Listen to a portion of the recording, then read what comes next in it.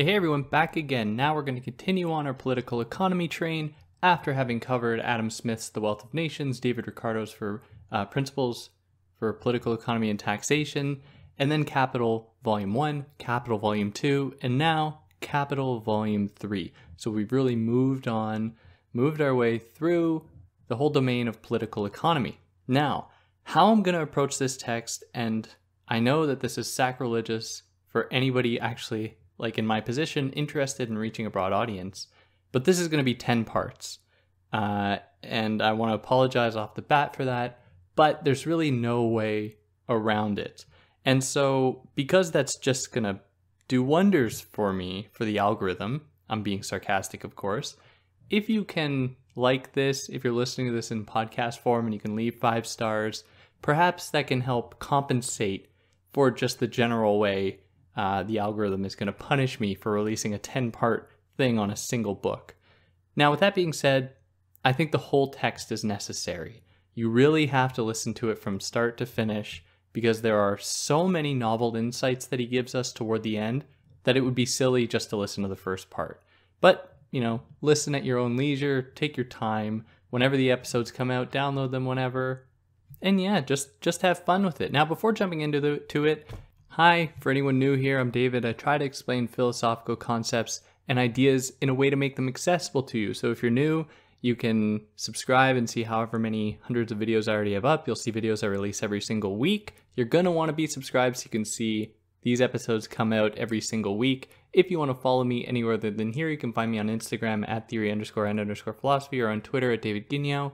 There are links for these things in the description that you can go and click on. If you want to help me out, like, share, subscribe, tell your friends. Who knows? They might get a kick out of this. Uh, or I've heard it helps people fall asleep. So if you want to help any of your friends who need need help falling asleep, then you can recommend this podcast.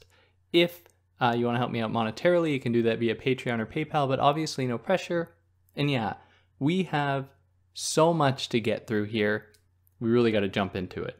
But even before jumping into it, I want to lay out how I'm going to approach it. That is, each part that each episode is going to cover. Now, I'm only going to mention this in this first episode, and going forward, you'll be able to find it in the description of the episode, the breakdown of each part, all the chapters that each part covers. Now, I want to do this so, you know, in case anyone in the future just wants to hear about a certain part, they can easily find it and then just listen to that part. Now, this episode, episode one, is going to cover Engels' preface all the way up to part two, titled The Transformation of Profit into Average Profit. So, this part, this episode will cover the preface plus part one. The second episode is going to cover part two, all the way up to part three, so just the entirety of part two, titled The Law of the Tendential Fall in the Rate of Profit. Then episode three is going to cover all the way up to part five, so it's going to cover both parts four and part uh, and part three, all the way up to part five, titled The Division of Profit into Interest and Profit of Enterprise. And then part four, or episode four, I should say, is going to cover up to chapter 27 of part five. And then the next episode, episode five, is going to cover up to chapter 32 of part five. And then episode six is going to cover up to the end of part five uh, up to the beginning of part six, titled The Transformation of Surplus Profit into Ground Rent. So, just to make that really clear, episodes four, five, and six are exclusively going to cover part five. And then episode seven will resume on part six, or from part six, titled The Transformation of Surplus Profit into Ground Rent, and that will cover up to chapter 41, at which point episode 8 will take over and cover up to chapter 46, titled The Rent of Buildings, Rent of Mines, Price of Land. And then episode 9 will begin to cover up to chapter 49, titled On the Analysis of the Production Process. And then episode 10 will make, take us all the way to the conclusion, plus Engels' supplementary remarks at the end of the book. And this covers about a thousand fifty pages. So there was a lot to go through here. Now, I just wanted to also mention that I had the impression before reading this book that it wasn't really a book, that it was just an amalgamation of Marx's notes, essentially, and nothing really uh, unifying about it. And that couldn't be further from the truth. if you actually read this text, you wouldn't know that it was actually, you know, done after Marx had died and that it um, is not an actually like completed thing until you arrive at the end and it just ends quite quite abruptly.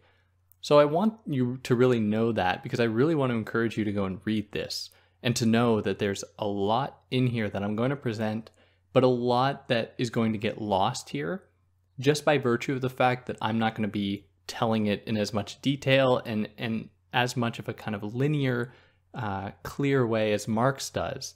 So just know that this is very much a book with a unifying thread running through it. Now, that puts us here into the preface by Engels, in which he says that he was well, he was the one that put this book together, and he makes it very clear that he didn't want to do anything to change the text itself. Now, with that being said, there are a few points in which he clarifies something that Marx says, which is only really a handful of times, or he comments on an error in Marx's math and provides a correction for that. Beyond that, there's I think there's maybe one or two instances where Engels supplies like a few pages of content to say or to elaborate on a point, but really otherwise, it's all Marx. And Engels did very little here to insert himself. He really took it upon himself to maintain and retain Marx's vision for this project. So, in the preface as well, Engels muses, he thinks about the way in which, or one of the absurdities of capitalism is that all commodities are sold for above their value. And the reason for that is that otherwise the capitalists would not make profit. They wouldn't make money that they could then transform back into capital to grow their enterprise. Now, this applies to all commodities unless we are referring to labor because labor for Marx is a commodity that the worker sells, but that is sold beneath its value so that the worker can be exploited. And the reason that this happens is that the capitalist doesn't want to pay the full price to the worker for the actual value of their labor, because then otherwise they wouldn't make a full profit. So, to make this super simple, imagine you're working at McDonald's and you sell a McNugget you're working there and you, you make a McNugget, make a McNugget, you cook or bake or whatever a McNugget, and it sells for a dollar, let's just say. You're going to be paid 70 cents instead of a dollar. Because if you were paid a dollar, the capitalist, the owner, wouldn't make money. They would only break even.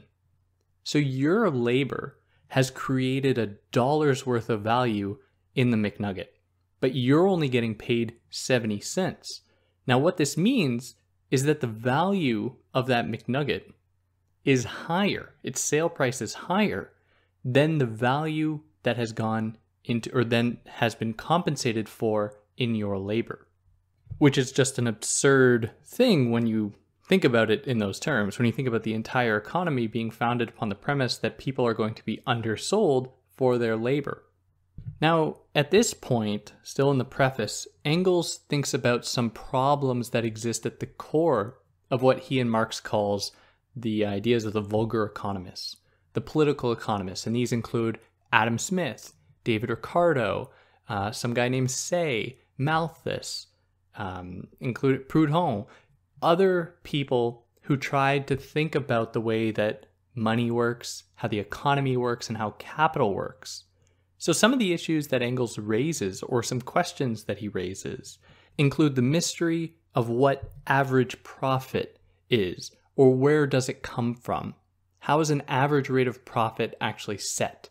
And this is going to get explained very much later in the text, so in part like six or seven that I'm going to do here. But in any case, the question that he's asking here is how do capitalists agree upon a certain degree of excess that they are going to take out of labor. So let's return to the chicken McNugget example. How do how does a capitalist say to themselves, I'm going to pay this worker 70 cents so that I can take 30 cents above their labor? How do they decide this 30% or you know 30 over 70, 30 over the full dollar, this amount of profit? Where does this come from? And it must correspond to a general degree of profit taking because otherwise the capitalist couldn't be competitive. So there must be some degree of equilibrium across the board about what profit rate will be. So Engels, that's what he's asking here. How do we actually, how does this get established? So another thing he asks, uh, or muses about that, is he asks if it's determined by uh, the surplus value that's extracted from labor, or is it proportionate to the amount of capital forwarded in production to produce commodities, the amount of money that's put back into industry in order to make more money? He also asks, or he asks it in this way, he says, How does there take place the transformation of surplus value into profit? How does that excess above what people are actually paid for in labor in terms of surplus value, how does that get turned into profit? Now, he doesn't answer these questions here, but he uses them to set the stage for what Marx will really be focusing on throughout the course of this book. And that puts us here into part one, titled The Transformation of Surplus Value into Profit and of the Rate of Surplus Value into the Rate of Profit. And this also comes with chapter one, titled Cost Price and Profit. So, volume one of Capital, for those that haven't listened to it, but I really recommend you go and listen to the episodes I've done on it Volume 1 of Capital looked at capitalist production. Volume 2 of Capital looked at the role of circulation and exchange uh, at the time. And Volume 3 looks at what grows, in Marx's words, out of the process of capital's movement considered as a whole. And these three texts really go together. You cannot, and I cannot stress this enough, you cannot understand what Marx is getting at in Capital Volume 1 unless you've read Volume 2 and Volume 3. So, all this stuff about commodity fetishism, about exploitation, about uh, you know poor working conditions, that's all great stuff. It's good to know. But until you've read all of it, that is Capital Volume 2 and Volume 3, and I would like to say Volume 2 you could probably skip. It's pretty boring, pretty dry. You really get the spark notes from that. But volume three is like, it's in my mind the pinnacle, and you really can't do without it. So here in volume three, where he's considering capitalism as a whole, he's going to consider in more detail competition and the everyday consciousness of the agents of production themselves. Now, this really becomes true toward the end of the text, but there are so many other important elements to this text that he doesn't present in the in the first chapter here. One of them being he's going to spend a lot of time poking holes in David Ricardo's conception of rent and how David Ricardo conceives of rent. Now, when we get there, I'm going to explain everything you need to know from Ricardo. Until then, you can go and listen to the episodes on that. But it's just important that you know that, you know, there are other things we're going to talk about here, including as well what might be the most important element of this whole book, how the profit rate over the course of capitalist production tends to fall, which might seem like a total uh, contradiction. It might seem totally moronic, but it will make sense. So he gives us a sort of recap here of the central ideas from volume one uh, and a little bit from volume two. So you have the value of a commodity, and this value is just its sale price. So if I have a McNugget and I'm selling it for a dollar, its value is a dollar in that moment. Now, the way that that dollar is decided upon, that is, how the capitalist decides it's going to cost a dollar, is by adding up the amount spent on raw materials, on machinery, on buildings, on transport, plus the cost of labor. So the you know me making the the McNugget, plus a little extra on top of that that they're going to want to sell uh, sell it for in order to earn profit on top of these other costs. So the formula, just to you know jog your memories because I'm sure you're all familiar with this, the formula is the commodity value is equal to the price of constant capital plus the price of variable capital plus the price of surplus value on top of that variable capital. So, what is embedded here in this formula is the idea that value, as something that is added in a commodity, emerges from the labor that goes into it.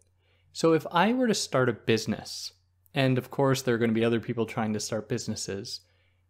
I am going to need to buy machinery and raw materials in order to make things that I can sell. I cannot sell those things that I make above what it's going to cost me to be competitive with people around me, other people competing. And of course, in a globalized world, you're going to be competing with different people in different nations uh, and so on. Now, because knowledge is want to spread, that is, people are going to know various techniques and the right machinery to use and the right, you know, the right uh, materials to use. I'm only going to be able to sell the product at the price that I'm going to figure out in advance, determined by the constant capital, that is the machinery and fixed, uh, and sorry, raw materials that go into it. And I'm not going to be able to sell above those prices. And the reason for that is that if I did, I would cease to be competitive among other people because they would just undercut me. So the idea is that raw materials and constant capital in the form of machinery, buildings, etc., only add their value to the thing being made in short, uh, in, in a kind of long winded form. So if I'm making McNuggets, I'm going to buy a grill. And let's say this grill costs me a $1,000. I'm going to say, okay, I need to sell McNuggets at such a price so that for the duration of the life of this grill, I am going to be able to earn that money back of what I paid for on that grill. So you need there to be an equilibrium between that cost of that grill and what you are going to be able to make with that grill and what you're going to have to charge for in order to cover that cost. Now, if you go higher, let's say you just randomly raise your price of each McNugget to $2, then Burger King is going to be able to come in and say, hey, you know, we paid for the same $1,000 grill. We don't need to cover our costs that quickly by just doubling our price and covering that cost of that grill. Let's just keep it at the same rate so that we can undercut McDonald's. Now, the idea here is that constant capital in the form of raw materials or machinery does not add value to things. Where value comes from is from the excess value that can be taken from workers. So while you can't make a machine work harder for you or to give more than it is designed to give, uh, at least competitively, like for example, let's say uh, you were uh, alone one night with your grill and you somehow found a way to make it more productive, or you made it bigger that you could grill more and it could make you more money. While that might result in an immediate spike in profit, it will most likely soon happen that other people are going to catch wind of this and then you will cease to be competitive. And so, therefore, it will reach equilibrium once more. So, you are not going to be able to really add value to things through the machines, through the raw materials you use. So it must come from labor.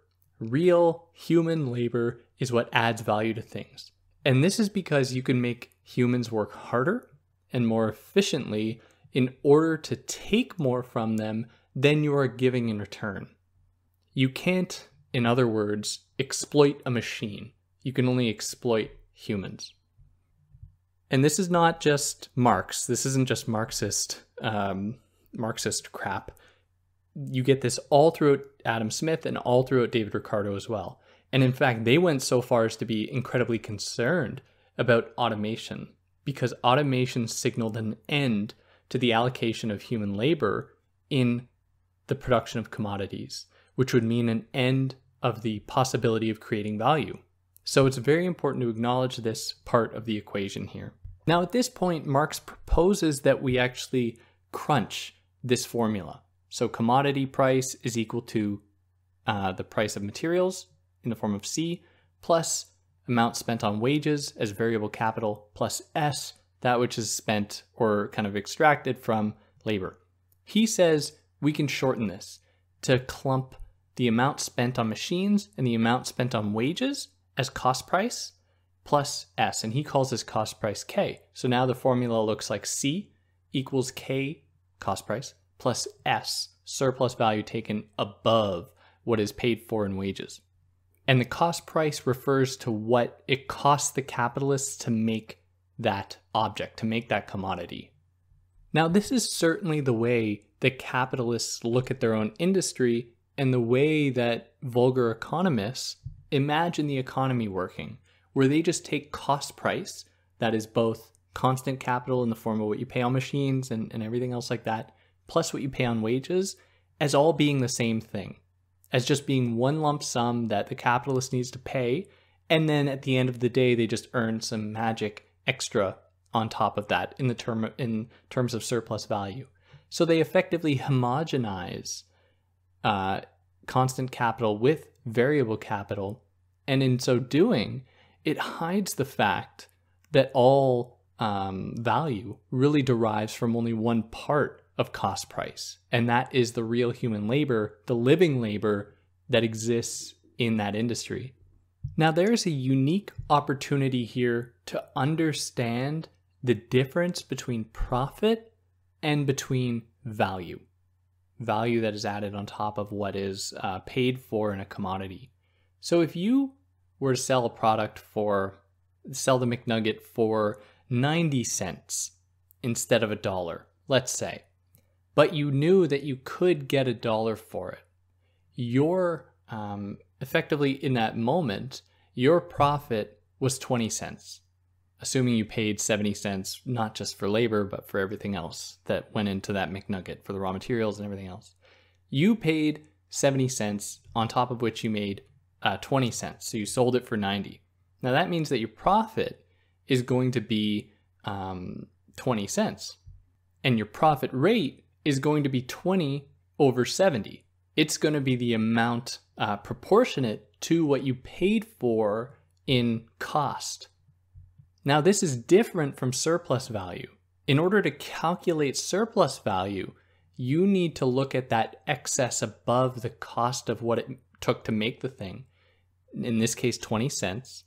You need to compare that not to the total cost price of constant capital plus variable capital, but just the cost price of the variable capital. So let's say 30 cents was spent on labor, 40 cents on all the raw materials and everything else, and then you earn 20 cents. In order to figure out profit, like I said, the relationship is between 20 and 70. Whereas for surplus value, it is between 20 and 30 because 30 is what was spent on wages. And we know that surplus value only comes out of wages. And so this would be a, a rate of 67% because 20 over 30 is 67%, you know, give or take. So this corresponds to a profit rate of 67 or sorry, a surplus value rate of 67%, whereas you have a profit rate of whatever 20 over 70 is, which is probably like around 30%. So if the capitalist wanted to earn more, they could make their workers work harder and make it so that instead of 90 cents, they could sell that object for, or if they wanted to extract more surplus value from the labor put into something, they could then sell it for a dollar instead of 90 cents. And this would mean that you would have 30 cents of extra money of what you're what is sold for above the cost now compared to the 30 that was spent on labor and you have a surplus value rate of 100%. Now this is how something like competition is made possible because you can have differing rates of surplus value that are being extracted from workers where you could have another say the person who owns Burger King only wants to make a surplus value rate of 50%. So they uh, sell for 15 cents above. So they are selling their McNuggets for 85 cents instead of a dollar or instead of 90 cents. And what they get then is that they are earning less in terms of surplus value, but they might be able to undercut their competitor and are then able to uh, sell more and make up for the cost in that way. Now, in order for the capitalist economy to actually run, nothing can just be sold for their cost price. All things have to be sold for excess of that cost price because it is the nature of capitalism to expand. You need to take some extra money that you earn to turn it into capital that you can then use to help you make even more capital in the future by investing in more machines, by investing in more labor, by investing in uh, knowledge that is going to make your labor more efficient, and so on. And here he adds a little jab against uh, Proudhon, who was a socialist at the time and a vulgar economist, as he, as Marx classifies him, who tries to imagine a capitalist world in which things are just sold for their cost price. To which Marx says that that's total, that's ridiculous. Then it would cease to be capitalism, and it would just be a way to exploit workers even further, because you might sell a thing at its cost price, but that will only mean that the buyer who's going to be somebody already who has uh, disposable income, who's going to be able to buy this stuff, is then just going to use it to uh, earn more capital because they're going to be buying something for under its natural price in terms of what the average profit rate would be. And they can then go and make even more money. So Proudhon, according to Marx, is just living in this fantasy world. And that brings us to chapter two, titled The Rate of Profit. So the capitalist process of valorization goes as follows where you have money, you take that money and you buy a commodity. Let's say I buy a house. So I have $100,000, I buy a house, whatever house is worth $100,000. And then in 10 years, I sell that house for $150,000. So I have transformed that house into $50,000 more money. Or better yet, let's say no time has passed, I just buy a house and I sell it for more than it's worth. What I have done is effectively valorized my money. I have made my $100,000 that I started with into $150,000 as though by magic. And this is what is meant by valorization. Now, the capitalist doesn't care how they valorize their money, how they valorize whatever they own, they just want it to happen. They don't care. They don't want to figure out if it's coming from the means of production, which it wouldn't be, but they don't want to even think about this, or the materials, or from labor. They don't care. They just want to earn more, which is one of the ways, and this is really one of the guiding threads behind all of the volumes of Capital that Marx is demonstrating, is that capitalists are notoriously bad at capitalism in that they do not understand the ways that it works what will work against capitalism, like automation, for example, and ways that people can actually earn more money. Which is really the irony to all of this, the way that Marx demonstrates a knowledge of capitalism that far exceeds Adam Smith and David Ricardo and even people today. Now, it serves their interest, that is, the capitalist interests, not to understand the differing ways that uh, constant capital machines, uh, raw materials, versus wages and variable capital, the differing ways that these products or these uh, means of production enter value into commodities. They don't care, as I think I've made clear enough. They just, as long as there's more money at the end, doesn't matter. Now, what this has done is it hides the fact that at the core of capitalist production is exploitation. And this is because the real source of value comes from labor. And labor, in order to confront this fact, would demand that people also confront the fact that labor as a commodity is being underbought. It must be bought for less than it is actually worth, or else the capitalists would not make money. And capitalism normalizes this exploitation. It wants to naturalize this exploitation. Now, additionally, economists, by ignoring this, they ignore the way that labor is the source of value. And really, this is Adam Smith acknowledges this as well, and David Ricardo. It's labor that creates value. Now, other economists, and this is also Adam Smith and David Ricardo, quickly forget that and say that value really emerges in circulation, where things are being exchanged. That's where prices are determined, and therefore that is where value is determined. And this is just a clever trick that is used in order to hide that fact that it comes from labor, that it comes from uh, surplus value. And here he offers us uh, a Kantian distinction. Now, I'm going to explain what I mean here, so don't be scared. He says that the price of a thing sold in exchange refers to the phenomenal aspect of a commodity, its phenomenal existence in exchange whereas the value that is given to it, that is the real source of its value, is the noumenal side of the thing, of the commodity sold. So he takes this from Kant because Kant, in the Critique of Pure Reason, makes a distinction between things that we can see and experience and touch and, and hear and feel. He makes a distinction between those things that are phenomenal, he just calls them phenomenal, versus what is actually there. And the reason that he makes this distinction is because different people will have different uh, relationships or different experiences of those things, which is why some people might like tomatoes and some people don't, or some people might like mushrooms and some people don't. We have different experiences with different things because, you know, we're all different people with different eyes and different ears and different mouths. And so, by virtue of that, there's the thing that exists in itself, which is the noumenon, versus the thing that is experienced, that is the phenomenon. So, in exchange, in the capitalist mode of exchange, there is a price value attached to things, and this is its phenomenal existence as value. But its a real value, its original true value, the point at which value emerges, is the labor and production that goes into it, which is the noumenon. And he doesn't really elaborate much on this point, but, anyways, I, I think it's a good point. And that puts us here into chapter 3, titled The Relationship Between Rate of Profit and the Rate of Surplus Value. So, as I already mentioned, if profit, that which exceeds above the cost of things, is related to the total cost, so constant plus variable capital, then you have profit rate. If you only relate that extra cost that you sell something for to the variable capital, that is your surplus value rate. So both profit and surplus value originate from labor, how labor is exploited in production.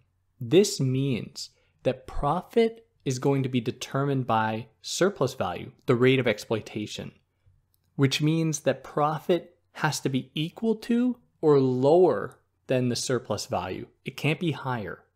So he offers us an example here. He says if you have an object sold for $100 and $80 of that was spent on machines, constant capital, 20 of it was spent on uh, wages, and then you had $20 of surplus value. You would then be able to turn that original $100 that you spent on constant capital and on wages into 120 because you've extracted $20 on top of everything there. This means that the surplus value rate is 100% because 100 uh, sorry because 20 was spent on variable capital on wages and 20 was extracted above the total cost price. Now your profit rate is only going to be 20%. And that is because you have 20, which is above the cost price, is related to the rest, to the whole cost price, which is 100, because 80 plus 20, 80 spent on constant capital, 20 spent on wages, which means that you have a profit rate of 20%. And you can never have a situation in which the profit rate is higher than the surplus value rate. Now, there are many different factors that can affect the rates of profit and the rates of surplus value. So, for example, let's say that surplus value is uh, constant. And additionally, the original money put into it remains constant as well. What could happen then? There are different, many different things that could happen, but you could come out with the same end product if you raise the amount that you then spent on constant capital, which you know you could very well do, which you could then compensate for by reducing, and this is where V changes, by bringing down or up what you spend on wages.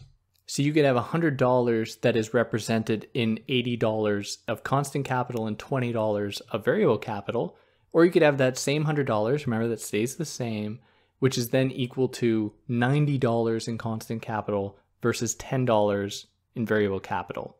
Or we could have a situation in which the big C, what is spent on uh, on the whole thing, actually changes. So we could get a situation in which uh, surplus value is constant and amount spent on wages changes, but also the amount that the total amount that is spent changes as well.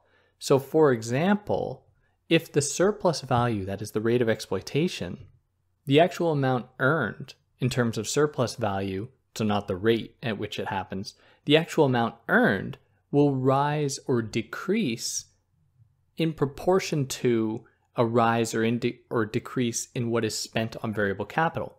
So variable capital goes up, then uh, surplus value would need to go up, which would mean that the rate, uh, the surplus value rate, rate of exploitation would remain consistent. So if variable capital went from $10 to $20, that would mean that the rate of sur- the surplus value would have to go to 10 from 10 to 20 as well, so that the same rate of 100% could be maintained. Now, what's important to note about this is that if the rate of surplus value, like in this case, remains 100%, so we go from 10 to 20 to 30, and according accordingly, the surplus value goes from 10, 20 to 30 as well to maintain uh, the same congruence with the variable capital. What would happen here to profit is that profit will actually go up as well, assuming that the amount spent on constant capital remains the same. Because the total cost price will will go up, but the total uh, amount that is earned will also go up at a rate greater because the amount spent on constant capital is not changing. Or we could have a situation in which uh, VNS, uh, variable capital plus uh, surplus value, remain constant, and the amount spent and the amount spent on uh, constant capital changes. And we could see an increase here uh, or a reduction in the profit rate because the amount of exploitation that creates profit, because profit comes from surplus value, stays down while total cost price goes up in the ter- in terms of what is spent on machines and raw materials. Anyways, we go on and on about this, thinking about what happens if the surplus value rate remains constant. In this case, we were thinking about it as 100%. Now, what if the surplus value rate changes, where we get differences in the rate of surplus value? Well, if there's a change in uh, surplus value rate, there's going to be a change in the profit rate, where if the rate of surplus value goes up, the profit rate will go up. And different things can affect this. So, the length of the working day for workers can make it so that there's more surplus value earned, which means more profit earned. Or workers are made to work even harder in the same amount of time.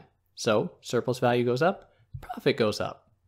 Or maybe they'll slash uh, the actual price of labor. They'll reduce wages, which means that surplus value, rate of surplus value goes up, and so therefore does profit rate go up. Now, I think you get the idea here. He goes into many different examples, uh, presenting many different examples, but I, I think you get the idea. The big point, though, is that depending on the ratios between C, V, and S, the, there will be a rate of change in terms of surplus value or profit rate. So there might be situations in which the surplus rate goes up, but profit rate comes down. And this could happen in a situation in which more is actually being spent on constant capital in a, like a great sum, like a capitalist wants to throw a ton of money to buy all this new equipment, but also they're extracting more from workers. But the amount that they're extracting from workers although the surplus value rate goes up, that is, the level of exploitation goes up, it does not go up at a greater pace than what is spent on constant capital. So this will mean that the ratio between surplus value and variable capital, the rate of exploitation will go up as people are made to work harder, but the profit rate will go down because the surplus value rate will actually have a lower relationship with the total cost price because of all the new money that is spent on uh, all this new machinery or equipment. And that puts us here into chapter four the effect of the turnover on the rate of profit.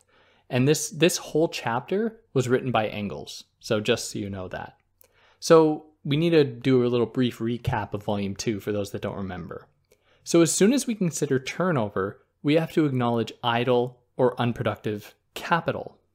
So if I have a business, I make chairs, I go to the store with a chair and I say, hey, uh, buy this chair. That chair might sit on the shelf for five years before it is sold. And somebody's going to need to be paying for that chair to be there because somebody's going to need to be paying for the storage of that chair. Someone's going to be needing to pay for lighting that will light up the place that the chair is being sold. We'll need to maybe pay labor to constantly dust the chair, and so on. So, in these moments, what we are confronted with is idle uh, production. That is, we have just really un- unproduction. We really have something that we've produced that isn't earning money, but it's just costing money. And this is one element of turnover time that capitalists are trying to minimize. So between the time they start production and the time they sell, they want they want to shorten that as much as humanly possible. They don't want their stuff sitting on the shelves for 5 years not being sold because then they aren't earning the money on that. So this whole turnover period is comprised of two large parts. There's the production part and the circulation part. So the capitalist wants to reduce production time by having more effective machines, more effective labor, more efficient labor, more efficient machines. And they want to reduce the circulation time, how much time that thing is spending, that object is spending sitting on the shelves, by having better transport, quicker transport, having better communication, better sales tactics, and so on. So if we consider a whole turnover period between the time that money is spent and that money is earned back in the sale of the product plus that extra on top. So this is the process of valorization of turning money into more money. What we have here is the general formula. And the general formula goes like this that the mass of surplus value appropriated in the course of a year is therefore equal to the mass of surplus value appropriated in one turnover period. So from the period, the point that an object is starting to be produced to the time that it is sold. Now, multiplied by the number of such turnovers in a year. This is how we figure out the rate of surplus value in, in an industry in a year. As for the profit rate, however, we can attain this by multiplying the percent of surplus value extracted by the number of turnovers and variable capital, all divided by the total capital. So, in mathematical terms, the profit rate is equal to the surplus value rate times the number of turnovers times the uh, the relationship of variable capital to constant capital in that arrangement. Or in other words, because mathematical formulas are difficult to convey through words sometimes, profit rate is equal to the surplus rate, surplus value rate, times the number of turnovers, times the amount spent on variable capital, all divided by total price of cost or total capital. Now, it's often hard to actually find out these numbers in industry, in the economy, to find out the actual rate of profit because capitalists don't keep super uh, accurate, at least at the time. I don't know if this has really changed, but they don't keep super accurate records that actually breaks down the amount that's spent on constant capital versus real living labor. Because why would they? They don't see a difference, right? They just see them, them both as being a means to attain more money which is all that matters. And so it's hard to know just how much profit is earned above what is spent on wages, which would determine the rate of surplus value, the rate of exploitation. But in any case, we move here into chapter 5, which is back to Marx now, titled Economy in the Use of Constant Capital. So if the rate of surplus value increases through an increase of the working day or an intensity of work, what we would find is that the relationship between constant capital to total capital, what is spent on machines versus what is spent totally in cost price with machines and with and plus raw materials with uh, labor costs, will this relationship will grow apart. So the relationship of constant capital to, to total capital will grow farther apart as the rate of surplus value increases by lengthening the working day or making it more intense. Now, it's important to have a grasp of what is actually spent in each, in each part of industry in order to have an understanding about this rate of exploitation that comes about through surplus value. And this is really only possible when we live in a, in a situation, when a situation exists in which there are uh, masses of people working with machines as they are being exploited. And this establishes what Marx calls a socially combined worker. And if you remember from volume one, he added the qualification that the cost of an item is not going to just be determined by the amount of labor that goes into it. He says that it's actually going to be determined by the socially necessary labor that goes into it, the relationship between laborers across different industries in order to find the equilibrium point what should be the average cost of a thing according to the amount of labor that should go into it. So here he's kind of returning to that idea to give us this idea of the socially combined worker who works with the means of production generally as a, as a kind of homogeneous mass. So totally different situations might arise. As time goes on, the cost of labor might go up or it might go down. And at the same time, the price of machines, the means of production of, of, uh, of raw materials might go up or they might go down. But in any case, any change or fluctuation primarily benefits the capitalist. So, if the means of production, the cost of the means of production in machines goes down, it only benefits the capitalist and not the worker because the worker only views the means of production as a tool for the benefit of the capitalist. And it is the role of capitalism, or one of its roles, to hide this fact that people are exploited in their labor and that the things that they are earning while it might afford them more than they had before, is always going to come at the expense of their being exploited, of their earning less than what they are actually earning the capitalist. And of course, there are long histories of capitalists actively avoiding and resisting the uh, imposition, the implementation of uh, safety measures in workplaces. So the amount of people who get hurt on the job is just innumerable. Um, and you always have efforts to try to reduce wages by capitalists. And the only reason today, at least in North America, we have things like a weekend or not 16 hour days of work is because people have said, no, we are not going to work for this much time. If it were up to the capitalists, or if we just got rid of the minimum wage, for example, capitalists would be totally happy with paying people a dollar, two dollars uh, an hour just to get them to work. Now, in addition to the exploitation and suffering that capitalists impose upon workers, they also participate in really egregious waste. So, with with the improvement of machines, we actually see the possibility to reduce waste, where machines grow more efficient. But at the same time, they aren't going to do this unless it's earning them more money, and they can produce more crap that will then be uh, will end up in landfills, will end up not being properly used. Or you get situations in which car manufacturers will just destroy their own stock in order to elevate, artificially elevate the price of the remaining stock. Now, when we think about social labor, the entire mass of workers that work together in their alienation, he offers us at the end of the chapter here another distinction between what he calls universal labor and communal labor.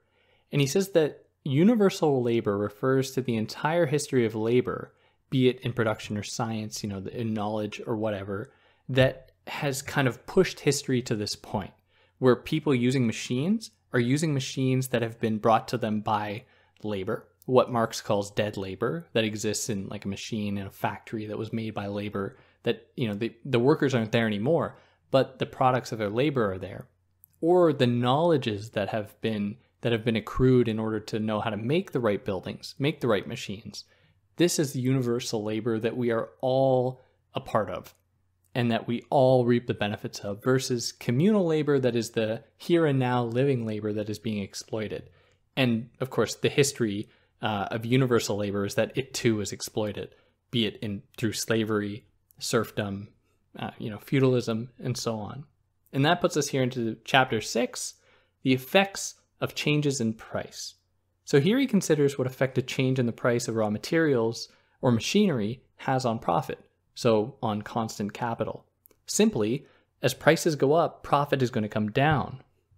Or vice versa. If uh, prices go down, then profit is going to go up.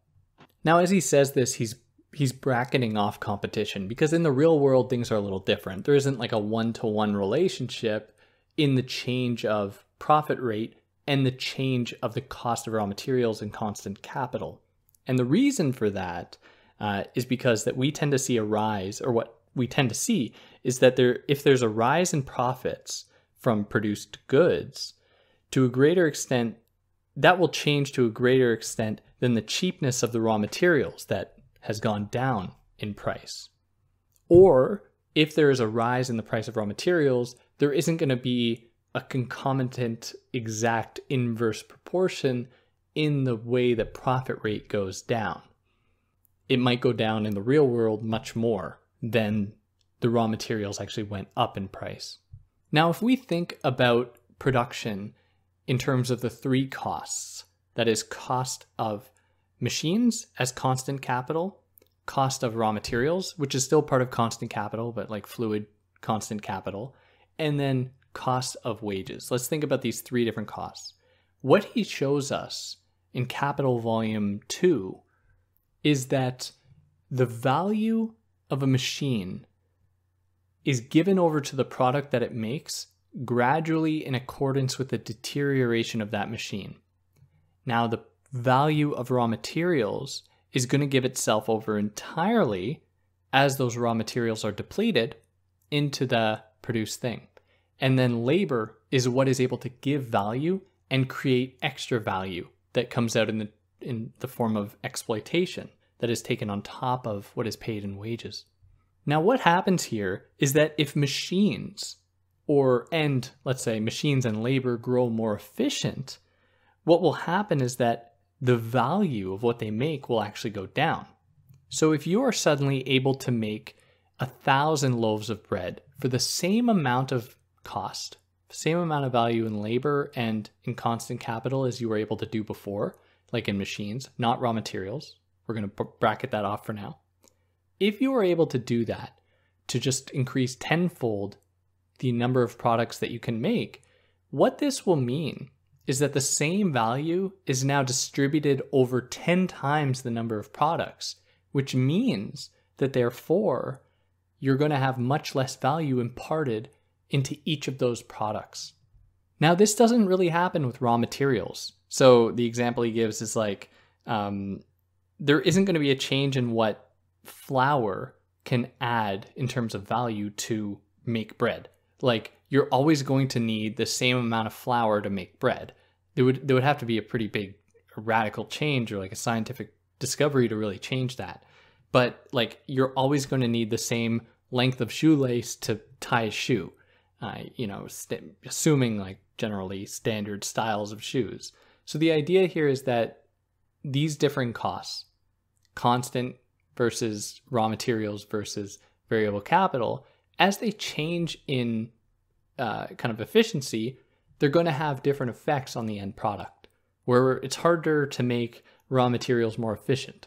These are just the kind of um, products that the means of production and labor uses in order to make that end thing. Now, with production comes the very possibility, and this is kind of a side point, but it comes with the very possibility of overproduction, and this will produce crises. As you get overproduction, you're going to see a decline in demand, and you're going to have people have spent a bunch of money producing things that they aren't going to be able to sell, and you're going to get a crisis. And capitalists don't see this until it's happened. They don't they don't feel the effects of it until it, it's too late. And at which point it's too late and they can't go back. They can't undo the production of the things. So he goes on to provide some examples of crises in raw materials production, the production of raw materials. Specifically, he presents the uh, overview of cotton industry between 1845 and 1860. Now, I'm not going to go into all the historical details that he presents. The big point is that cotton was booming there was a lot of cotton. It was selling good price, you know, a lot of production of it, and so many more uh, factories and mills were opened as a result.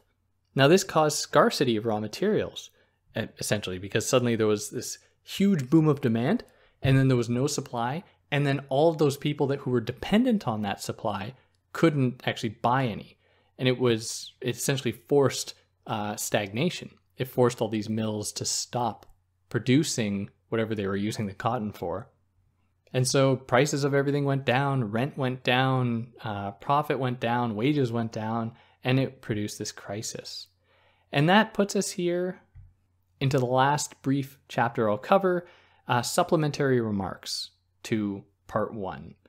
And here he just provides a little recap. He says that the bourgeois do not regard profit as original, uh, that is, from uh, surplus value, because they think it only innate, uh, originates in circulation, so they don't see labor as being the original point here.